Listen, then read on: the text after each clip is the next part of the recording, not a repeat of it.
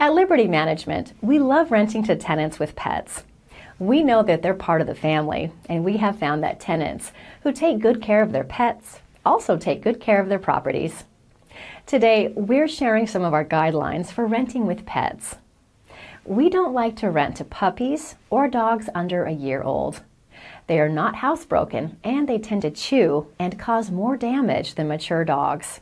Otherwise, older dogs are excellent as long as they aren't on the restricted breed list.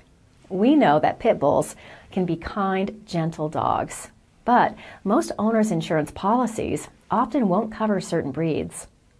Additional breeds on the restricted list include Huskies, German Shepherds, Mastiffs, among others. We allow a maximum of two pets per property. Golden Doodles are a great example of a dog that will do well in a rental property.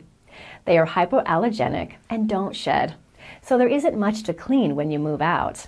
They are great family dogs, being that they're part Golden Retriever and Poodle, and they come in a variety of sizes, ranging from mini to large. Labradors, Yorkies, and other small dogs also make great pets for rentals, along with short haired cats if you're more of a cat person.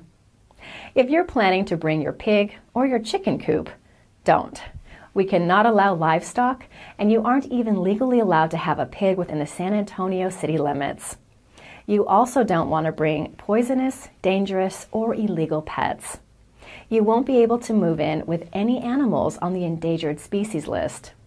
We do not allow ferrets, reptiles, or rodents, and aquariums must be smaller than 20 gallons.